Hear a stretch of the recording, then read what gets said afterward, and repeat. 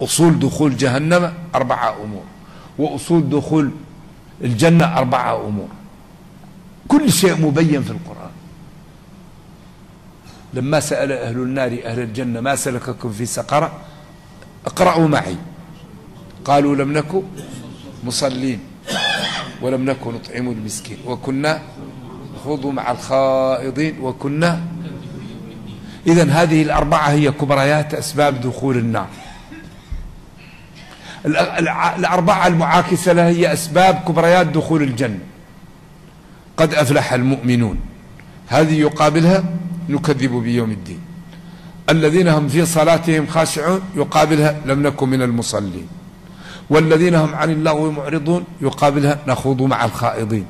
والذين هم للزكاة فاعلون يقابلها لم نكن نطعم المسكين.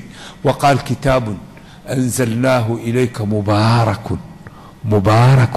إيش؟ ليدبروا آياته دبروا يطلعوا الكنوز يطلعوا ما فيه. كل قضية محلولة في القرآن بس نحن نمثل دور المحامي الغبي. المسلمون يقومون بدور المحامي الغبي. المحامي إذا كان لا يفهم إذا أخذ قضية ماذا يفعلها؟ يخسرها ضيعها. المسلمون بالنسبة لدينهم يمثل دور المحامي الذي لا يفهم. نحن نجفل الناس عن الإسلام. لا يجوز. يا يحيى خذ الكتابة بقوة.